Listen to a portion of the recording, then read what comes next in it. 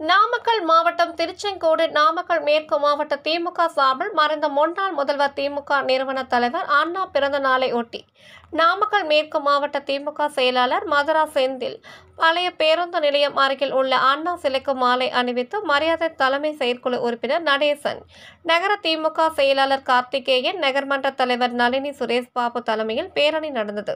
இதில் முன்னூறுக்கும் மேற்பட்டவர்கள் கலந்து கொண்டனர்.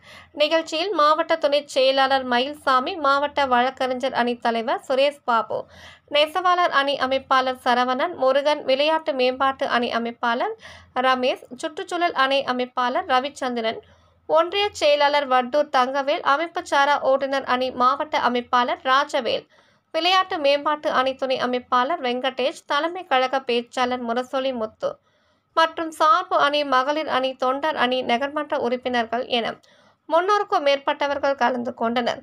தொடர்ந்து அண்ணா சிலை அருகில் இருந்து பேரணி புறப்பட்டு நகராட்சி அருகே அலங்கரித்து வைக்கப்பட்டிருந்த அண்ணாவின் உருவ படத்திற்கும் நகராட்சி வளாகத்தில் அமைந்துள்ள அண்ணாவின் திரு உருவ சிலைக்கும் மாலை அணிவித்து மரியாதை செய்யப்பட்டது.